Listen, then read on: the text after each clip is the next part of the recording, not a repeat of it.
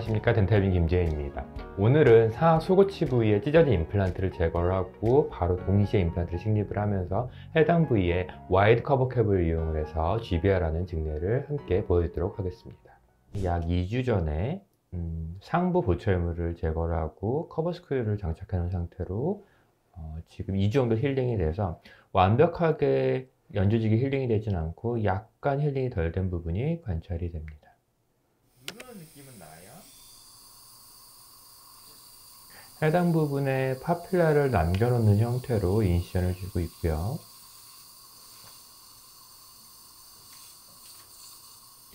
팔라탈 쪽에 2, 3mm 정도의 본 디펙트가 관찰이 돼서 그 부분에 이제 GBR을 진행을 해야 되는데 버컬 쪽에 2, 3mm라면 굉장히 간단하게 콜라겐 멤브레인을 이용을 해서 GBR을 하면은 해결이 되지만 palatal 쪽에 2, 3mm의 GBR을 시행을 하는 것은 어려운 과정이기 때문에 추후 wide cover cap을 이용을 해서 해당 부분에 GBR을 할 거고요.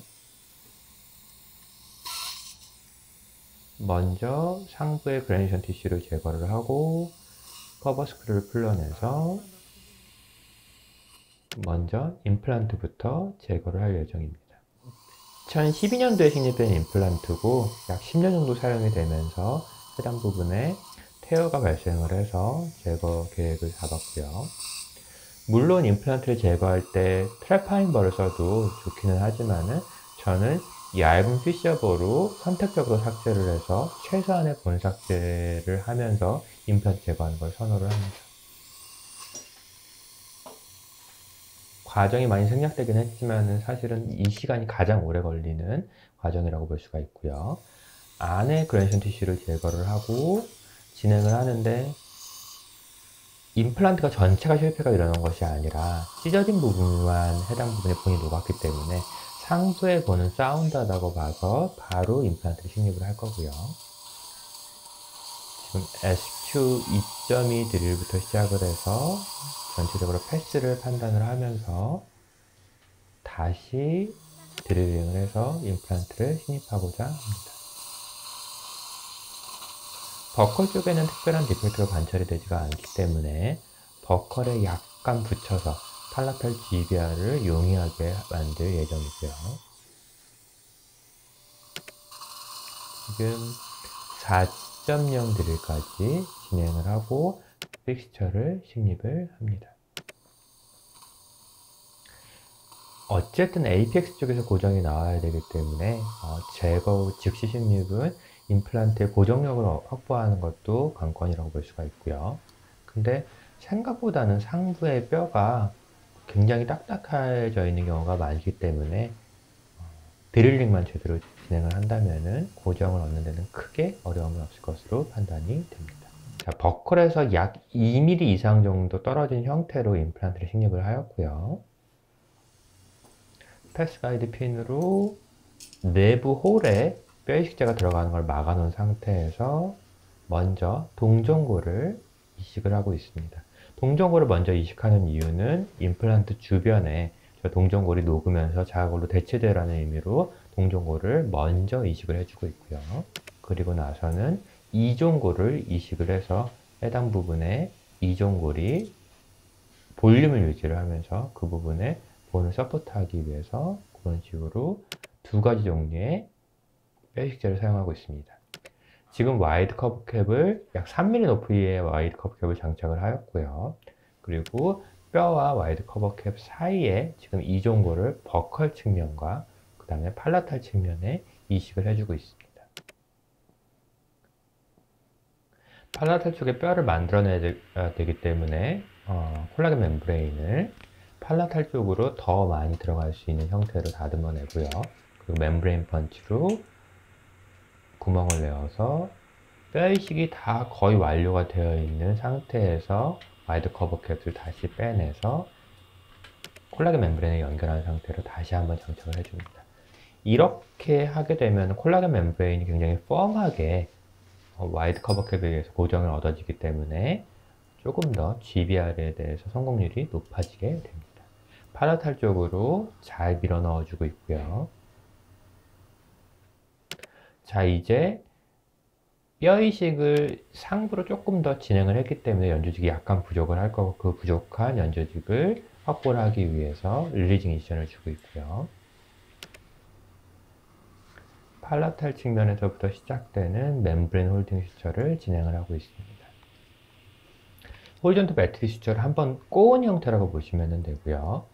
지금 buccal 측면에서 안에서 감아서 돌아간 이유는 stitch out 할 때 편리하게 하기 위해서 같이 감아 넣어 놨습니다. 그래서 지금 하는 suture가 buccal flap도 약간은 잡아당겨 주면서 적용되어 있는 콜라겐 membrane을 다시 한번 잘 감싸주는 membrane holding suture 역할을 할 거고요. 지금은 buccal 쪽 flap이 제대로 잘 안 당겨져 오기 때문에 horizontal mattress suture를 한 번 더 해서 이번에는 membrane을 잡아준다는 역할보다는 buccal 쪽 flap을 palatal 쪽으로 끌어당겨서 벌어지거나 노출되는 것을 최소화시키기 위해서 한 번 더 horizontal mattress suture를 진행을 하고 있습니다.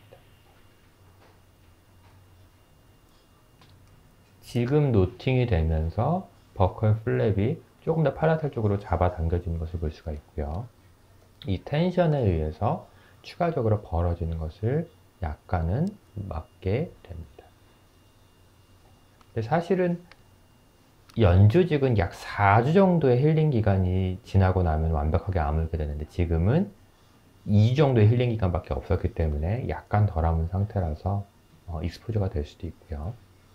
어쨌든 나머지 부분은 simple interrupted suture로 primary closure를 마무리를 하고 있습니다.